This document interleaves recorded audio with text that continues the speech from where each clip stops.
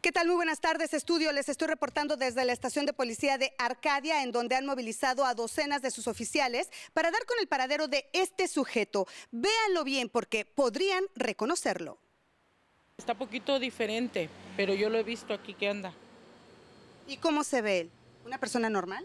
No, ¿Cómo luce? como un indigente y como que está loquito. Porque aquí pasó, por aquí en medio, y dijo mi marido, bueno, ¿qué es lo que le digo? Yo creo que no está normal.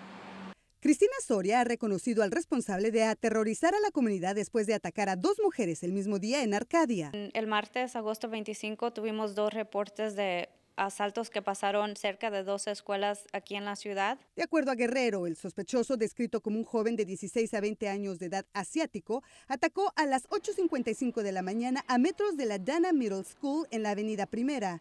El segundo ataque fue a las 11 en el estacionamiento de Arcadia High School localizada en el 180 Campus Drive. El reporte es de que un sospechoso llegó por atrás de las dos víctimas, las, abrazó como en forma de un abrazo de oso. El sospechoso, después de inmovilizar a sus víctimas y con movimientos pélvicos contra el cuerpo de ellas, satisface sus bajas pasiones para después huir corriendo. es a la hora que entran los niños. Mi hija entra a las 8.40, 8.20 a la escuela, a la high school, y a mí me gustaría que tuvieran más vigilancia, porque esto es algo que es peligroso para ellas. La comunidad está alarmada. Y sabiendo que hay una persona de este tipo en las calles, pues ¿cómo va a dejar uno a sus hijos? Las autoridades hacen advertencias.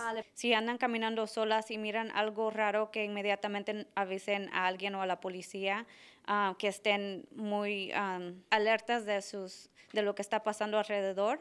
Por ahora la vigilancia se ha redoblado en las zonas escolares.